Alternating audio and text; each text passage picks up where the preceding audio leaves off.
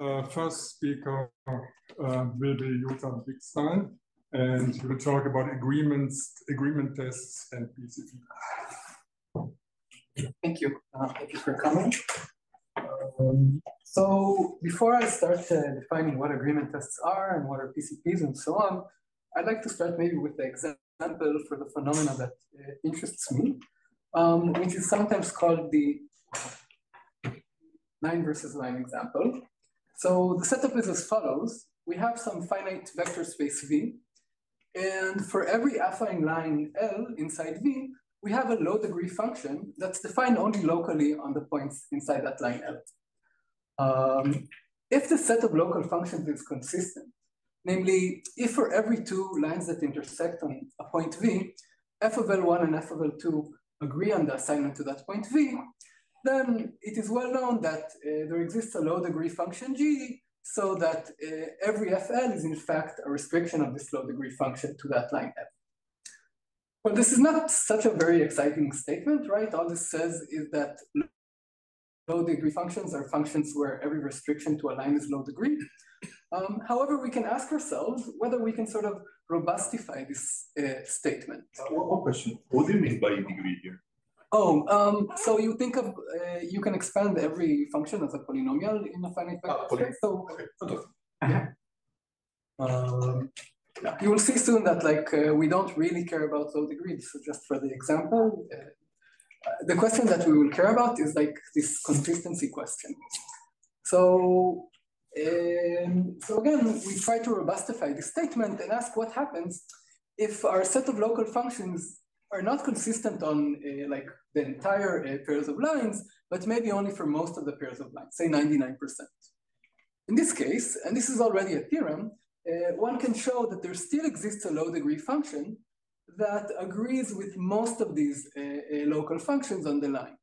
Um, so this is a theorem by Gemmell, Lipton, Rubinfeld, Sudan, and which was also used, also proved in more generality by Rubinfeld and Sudan in the 90s. Yeah. Something has to vary here, right? It's not a, so what varies? Yeah, so I, I'm not giving this uh, formally. I'm just uh, doing this example, but like if you like uh, if one minus epsilon percent of the uh, uh, pairs of lines uh, are consistent, and like one minus some constant times epsilon percent of the lines agree with some low degree function. There's like there's a there, there's a precise way to quantify this, but uh, that, let's ignore this for now. Um, in fact, I just wanted to comment that even a stronger statement holds in this case. In fact, even if you only have like a, a, a small but constant uh, uh, fraction of these pairs of lines that are consistent, then already you can sort of recover some structure there. You can find a low degree function um, that agrees with these uh, uh, uh, local sets of functions on like another maybe small constant on the lines. So even if we know like this very um, this very mild uh, uh, property, already we can find some structure. So, um, so this is like a nice consistency theorem, and a bunch of those have been proved as lemmas in like uh, terms regarding PCPs and, and locally testable codes. And in the late 90s, Goldreich and Safra sort of shut off all the details and just asked like a more uh, abstract question about like this, this consistency lemma in general. So they thought of the following setup, where we have a set system that consists of three parts. Um, so V will be just some finite set. Um, S will be a collection of subsets of V. And we will also have a distribution, which I'll call the test, which is just a distribution over pairs of subsets. Um, the objects that they were looking to uh, um, looking to study are these sets of local functions. So as you can see, for every uh, um, little s in the collection of sets, we have like one function f of s that's only defined on the points inside s to some, I don't know, finite alphabet, maybe zero, one. Um, the property that they were trying to uh, uh, study uh, was whether this set of local functions actually comes from like one uh, uh, function on the whole vertex set.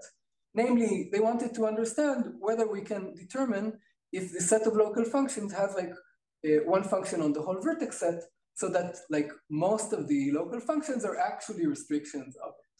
here when I'm writing this probability, I just mean like uh, the number divided by the total collection of sets. Um, so of course, you know, if we actually read all these uh, uh, all these sets as input, we can maybe uh, give a very accurate answer. But uh, as we saw before, we really want to like devise a super efficient algorithm that will sort of randomly only probe a couple of these functions and already give like kind of an accurate answer to whether this property holds or not. So, um, so we consider the following test where we randomly sample a pair of sets according to the pre-specified distribution. And we say yes, or the test accepts, if uh, the two local functions corresponding to these sets agree, namely assign the same values to all the vertices in the intersection of the two sets. Um, okay, so this is like a nice test. And like the main question in, in this field is to whether determine, you know, in which uh, uh, set systems like this, is this test actually meaningful? Does it actually say something about the property that we're interested in? So like the soundest uh, guarantee that I want roughly says that if we can say that the test passes most of the time, then there should exist a function on the whole vertex set that uh, most of these f of s's are restrictions of that function.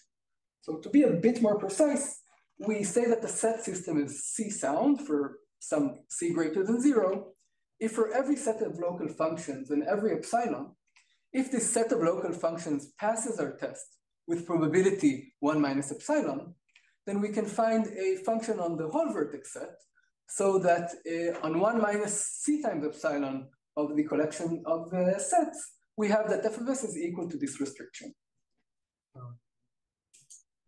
So I will just uh, comment that we can look at other soundness guarantees here. So like on the second part of the example, we can also ask ourselves what happens if the test passes like not with 99% probability, but with only like a smaller constant, in which case sometimes we only want a, a function on the vertex set that agrees with our functions like on a small constant. Um, I'm not going to define this because I don't have too much time, and also uh, the definition is quite similar to the previous one, albeit uh, quite more technical. Uh, just one question. When you say probability of fs coinciding with g restricted to s, yeah, are you? I mean, are you also choosing the point B, or when that's that also? I mean that it, it, agrees on all the points inside S. Okay, fantastic. Yeah, so it, so it needs to be like complete agreement. I, I should say that there are a lot of like soundness notions out there. Sometimes people are, are happy if they agree only on, I don't know, like 99% of the vertices or something like that. Um, I think it's simple maybe to think about this, albeit it's sometimes imprecise. Um, great. Um, so uh, we already saw an example to this phenomena, right? In both regimes where like our uh, V was points in a vector space and our sets S were like all these lines, um, maybe provided that the functions were low degree. Um, there are examples out there where you need to make no assumptions on the function and, and this uh, holds in full generality. Um, so in the next five minutes or so, I would like to maybe give some motivation about why even study these um, uh, objects and their connections to uh, what's called PCPs. Um, however, uh, I don't want to define PCPs because that's uh, quite a technical definition and I don't want to make more than one in this talk. But you can say it's probabilistically checkable. Yes, thank you. Instead, I'm going to define what is a constraint satisfaction problem or a CSP, which uh, uh, could be used to like equivalently define PCPs, even though I think it's like the less common way to define them. So the nice thing about the CSPs or constraint satisfaction problems is that probably we all heard about them, even if we don't remember. So these are like uh, uh, computational problems or computational tasks, such as coloring a graph or trying to satisfy a Boolean formula. In these uh, uh, uh computational tasks, we get as input a bunch of variables and some like local constraints on these variables, and we try to find assignments that satisfy the uh, largest number of constraints possible. So I'd like to introduce notation and like uh, uh, um, give this definition. And I thought it would be nice that while I define it, we also see as an example how like I can talk about the problem of uh, three coloring a graph as a constraint satisfaction problem. So a constraint satisfaction problem is actually con consisting of four things, uh, variables, uh, which we call V, Um, so in graph coloring, I take as my variables maybe the vertices of the graph, um, some finite alphabet where we're supposed to assign every uh, variable some letter in this alphabet. So in the graph coloring case, maybe for three coloring, we'll have like uh, the three colors. And we also have a bunch of constraints. So I like to think of every constraint as sort of a subset of the variables. So in graph coloring, this will be like one constraint per edge, right? Because the edge, edges define what are supposed to be the functions here. And for every such subset, we will also have like a set of like legal functions or some condition on when this function is supposed to satisfy the constraint. So in graph coloring, uh, you know, for every edge, our constraint will be like the set of functions on the edges where like the, uh, um, the color of one point is not equal to the color of the other. So we say that an assignment satisfies a constraint if when we restrict the assignment to the variables of the constraint, it's in the legal function. So like a coloring satisfies some edge if both points are distinct, and like a coloring is like a, a, a totally uh, uh legal coloring if it satisfies all the edges. Um, so uh, we can also define sort of the value of uh, uh a CSP, which will just be the maximal number of constraints that we can satisfy with one assignment. And I'm normalizing here between zero and one, so I'm dividing by the number of total constraints just for like convenience. And like one of, I think the first NP-hardness results are that CSPs are NP-hard, or determining this value is NP-hard, just because, you know, three coloring is NP-hard.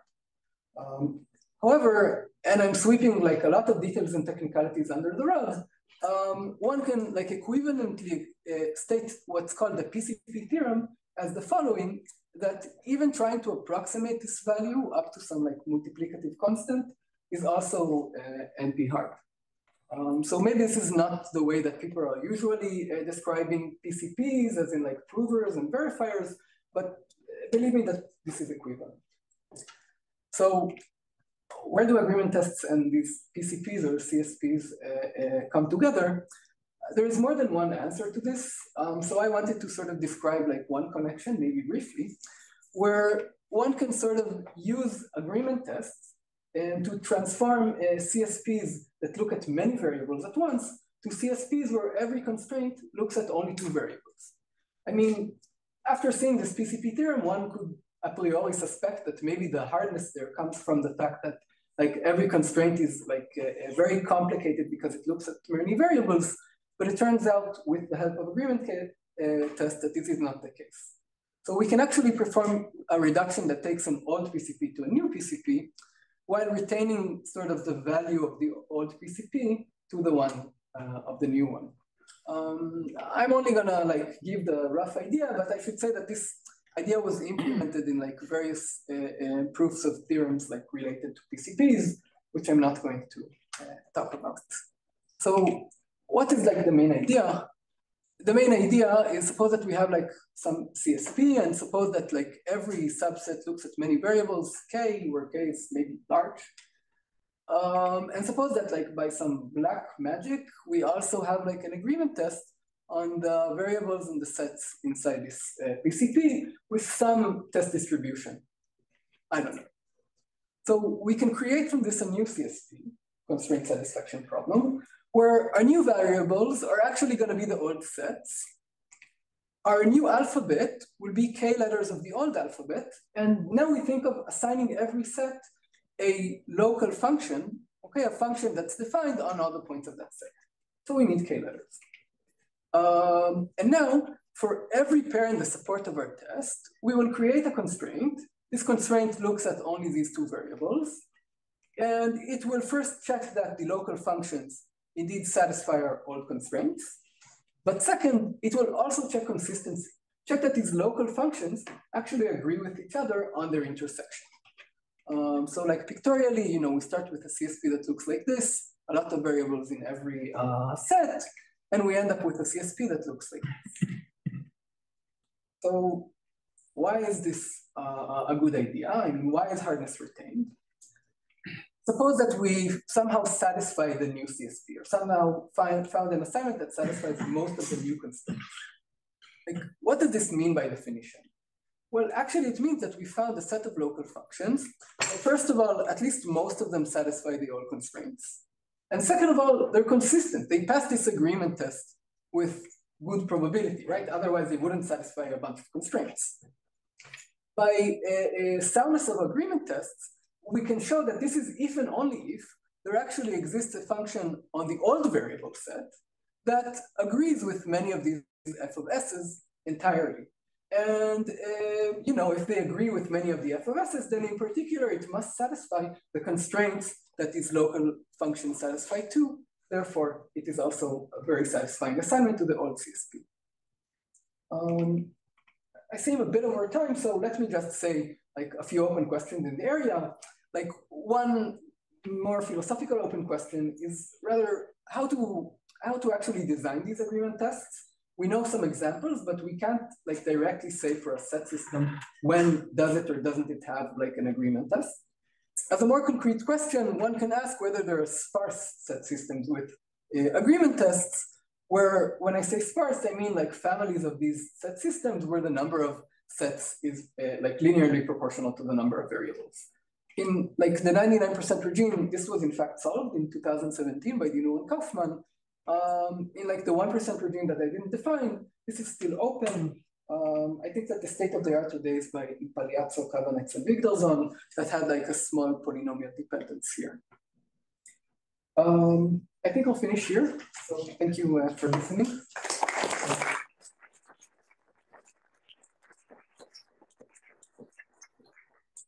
Any questions? Okay, so let's thank our speaker again.